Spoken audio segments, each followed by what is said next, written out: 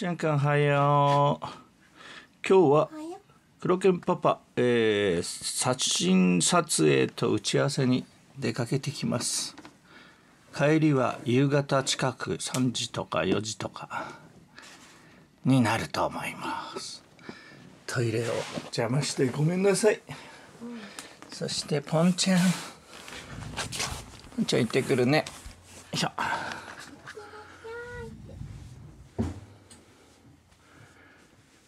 ポンちゃん。おはよう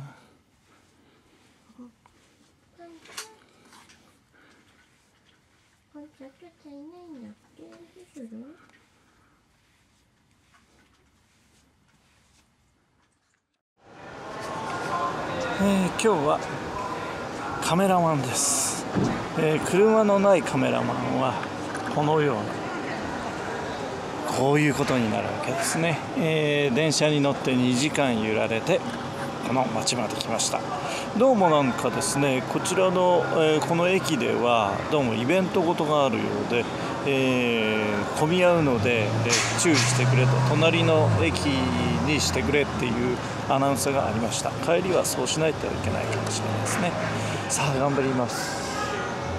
天気はうん曇りだね。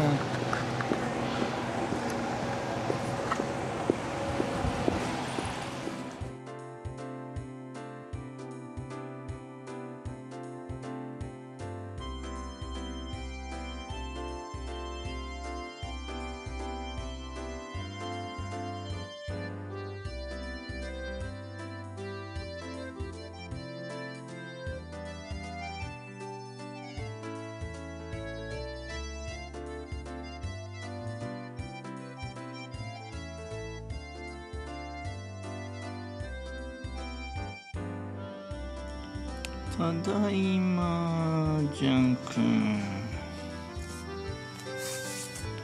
ただいまポンちゃんだいぶ肉体疲労です。はいじゃんく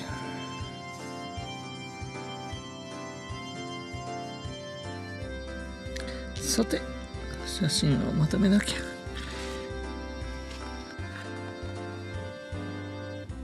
うん。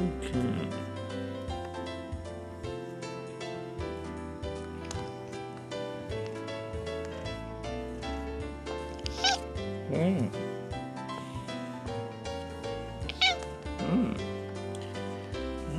は